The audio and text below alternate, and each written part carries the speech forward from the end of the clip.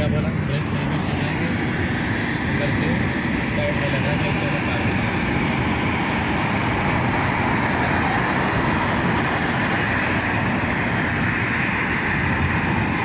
Seven seven seven match की तरह तुम्हें बिना मैच में थोड़ी जानते देगा।